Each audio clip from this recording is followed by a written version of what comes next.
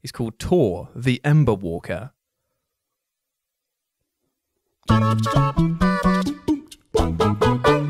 Hello, all of you little demons. Jules here for WhatCulture.com, back again with another episode of the awesomely named and awfully hosted Choose Your Own Adventure, the weekly medieval themed format where I, the crown jewels of WhatCulture.com, take a list chosen by you. Yes, you, the person who was lucky enough to be sent this. It is a D&D character, not just any D&D character, mind you, but my actual D&D character from Live and Let's Dice. My friend Gimli sent this over, and my friend Lawson painted it. How lovely is that? Yes, you get to decide what list I dole out to you each and every week, which kind of implies that I'm choosing this list, but I'm not. It's actually Mr. K today, who is possibly a relative of Professor K from Jet Set Radio Future, but I digress on that, and their suggestion of video games that had different features or bonuses depending on which version that you played them on.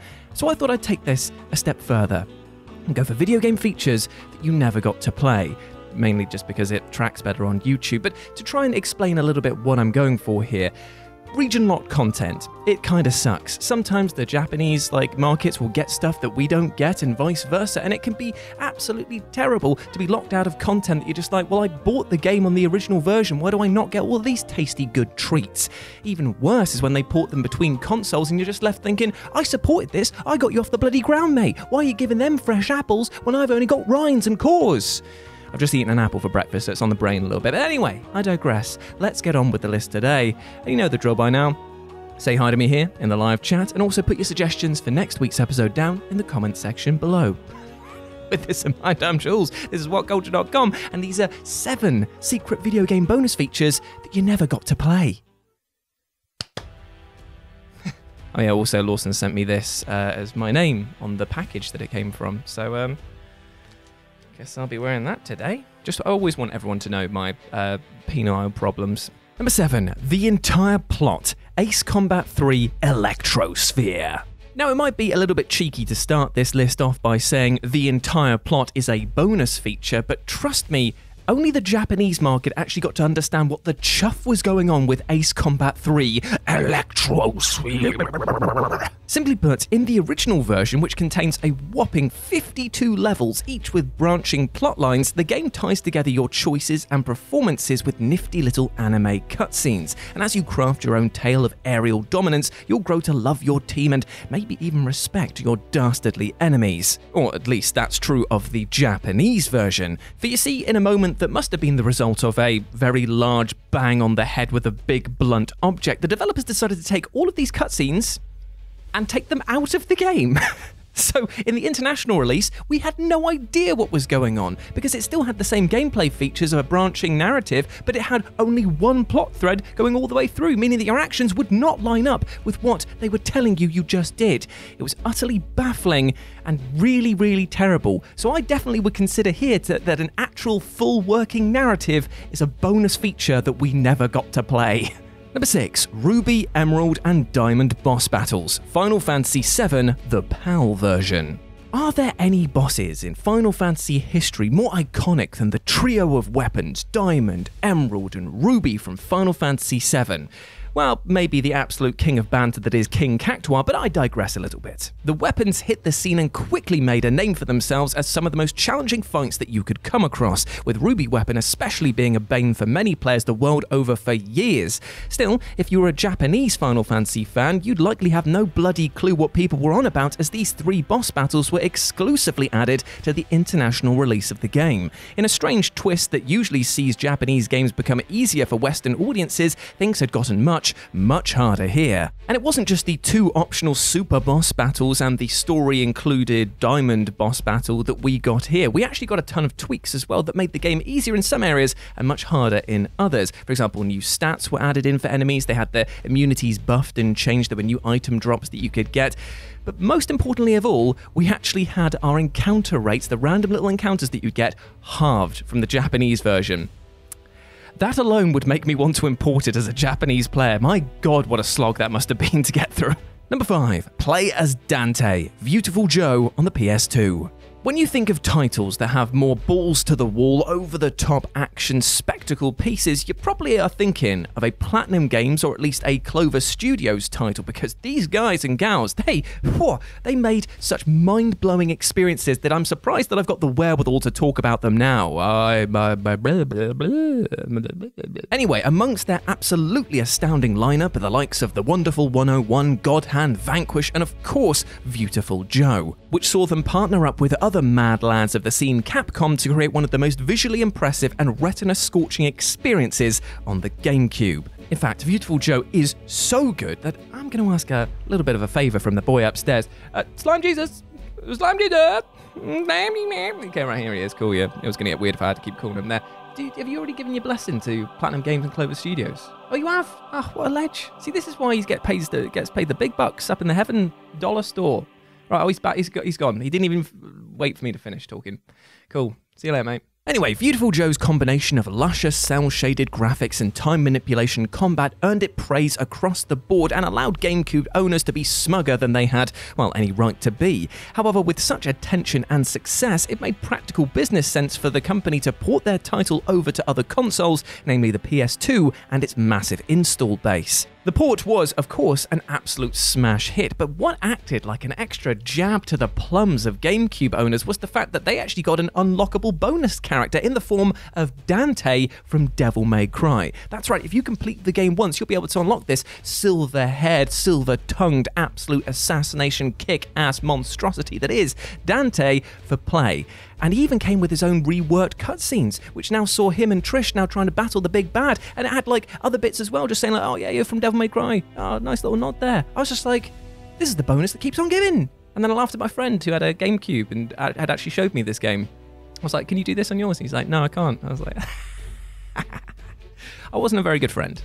Number four, London Life, Professor Layton and the Last Spectre. now this one just stings. The Professor Layton titles are some of the most fun and devious little puzzle games that you can find on Nintendo's handheld consoles, and alongside its gorgeous graphical style, it also manages to weave complex and engaging mysteries. So, of course, fans of the series almost lost their top hats when it was announced that Professor Layton and the Last Spectre would feature a brand new bonus minigame that boasted over 100 hours of extra playtime. Naturally, pre orders for the game were about as high as interest levels for this London Life add on, which saw players able create their own character and live out a peaceful existence in an 8 bit version of the Layton verse, complete with all of your favourite heroes and villains. Mini mini games, customization, and an ever chipper soundtrack. What's not to love? Sign me up! Well, as it turns out, in a massive dose of irony, Little London wouldn't actually be accessible for UK owners of the game, as this feature that was a bonus unlockable in Japan and a ready to access mode for the US were completely absent from our version. And trust me, life on the real London streets is much, much less fun. The people are just so angry all the time. Sad times. But you know what? Let's cheer ourselves up by having a musical interlude, my friends, because today, in honour of Professor Layton and the English tradition of the West End, we're going to be doing a musical. So, Owsley, are you ready, my friend? Who the hell's Professor Layton? James, hope you're warming up your vocal pipes, my boy. My boy. My boy. I really like Professor Layton, Jules, so don't you dare ruin this for me. What have you been up to this week, James? Oh, thanks for asking, Jules. Me and Jazz went on a nice little walk. Don't care. Come on, music man, make with the slappy bassy. Pass me the bass, Jazz. Oh, Professor Layton, I want to come with you to take part in your London life. Nah, you're not coming in. Get in your bin. You're a big limey twat, as big as my head. Why, Professor Layton, do you hurt me so? I just wanted to play.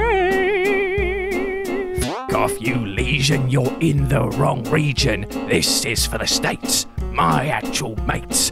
US means us. Now get on your bus.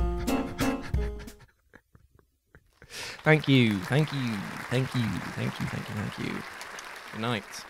Number three, unlock Little Mac, EA Fight Night Round 2 on the GameCube. So the EA Fight Night series is one that needs to return. Um, I think that goes without saying, right? I mean, EA is leaving huge money on the table by focusing on the UFC games and not on this pugilistic fighter that we all remember fondly. While Fight Night Round 3 might well be seen as the firm fan favourite, Round 2 definitely wasn't pulling any punches, and alongside some slick looking visuals and an always hilarious shaky cam knockout system, it was also hiding some body blowing content under its belt. I'm speaking, of course, about the Nintendo exclusive unlockable fighter, Little Mac. Now, I was genuinely shocked to learn that you could unlock this pint sized slugger by completing a special circuit exclusive to the GameCube, but the real reason that I'm including him here is because look how utterly horrifying he is. Seriously, there are tons of console exclusive fighters that I could have chosen for this list, but how could I not after witnessing this abomination? He looks like a baby that's been fed steroids and then had the absolute piss kicked out of him.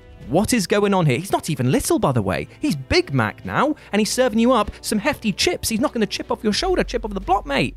I don't like him. I like fighting him, but only to knock him out because he's just like, ah, get away. Ooh, ooh. Number two, play as Norimaro, Marvel superheroes versus Street Fighter. So, when it comes to video game fighters that should probably definitely not be taping up their fists to take on the likes of Paul Phoenix or Ken from Street Fighter, you probably think of Dan, maybe Phoenix Wright, uh, Roll. I mean, bless her, she tries, but God, it's like kicking the piss out of a toddler. However, there's actually a new king of crap that makes all of these other wimps look like utter winners, and that's Norimaro, a joke character created by Capcom and Japanese comedian Noritake Kinashi. Looking like a used tissue stuffed into a school uniform, Norimaro was unlocked in the Japanese version of Marvel Superheroes vs. Street Fighter, but was nowhere to be seen in the international release despite still being on the disc. Yet the most hilarious thing about this joke fighter is actually that he's well, pretty decent. I know it seems really weird seeing as his fighting style, if you can call it that, is him just lobbing stuff at you for days. But at the same time, this, plus the fact that he's got a pretty decent aerial launcher, means that you can juggle opponents for hours. So strangely, the last laugh is one that he's having. Also, his story mode ending is actually quite scary because he becomes a tyrannical dictator. Yeah, he's a, he's a weird character for sure. But weirder still is that there's actually no reason that he should have been cut. I mean, after all, is a school kid with the face of Mr. Bean any weirder than an anthropomorphic cactus plant or a time traveling pirate? Well, not really, in my opinion, so it was a bit of a shame to find out that this was a Japanese exclusive unlock. And number one, the dating sim in rival schools, united by fate. And so we end on another fighting game, but this one here isn't about unlockable content that would let you better batter your opponent into the ground like fleshy tent pegs, but no, this was a feature that was cut that may have taught us to love. I'm speaking, of course, about the absolutely brilliant rival schools united by fate, and the fact that in Japan it came with a dating sim mode. Now, Japan absolutely loves themselves a good dating sim, but it was still quite shocking to see a game like Rival Schools, which basically settled all disputes the way that nature intended, aka fist fighting on the playground, was going to let you dust off your opponents afterwards and take them for a drink. This mode lets you create a brand new character and then strengthen bonds with other classmates, which would, in turn, affect your stats, basically teaching kids kids that having a lot of mates will give you the strength to take on anything that life can throw at you. Pretty nice, right? Well, well, unfortunately, we didn't get this second disc that came with the game in the international release, so we just had to settle for a really well made fighting game. God, hardly worth the plastic case. I'm kidding, it was brilliant. And there we go, my friends. Those were seven secret video game features and bonus contents and modes that we never got to play. God, curse the heavens. Damn you, Beelzebub. This is all your fault, mate. I hope that you enjoyed that, and please let me know what you thought about it down in the comments section below, as well as your suggestions for next week's episode, because I'd love to see them, my friends. But if you want to chat to me further in the meantime, you can do so by going over to Twitter and typing in at RetroJ with a zero, and you will find this bold, beautiful egg right here. Or you can go to Live and Let's Dice. It's my personal gaming channel where I stream every single Wednesday and Sunday, and it would be great to see you over there. But before I go, my friends, I just want to say one thing, and that is a bonus feature that we can all unlock, and that is just by simply being kind to ourselves. At this time of recording, at the beginning of 2021, it's still eh, going to be an interesting year.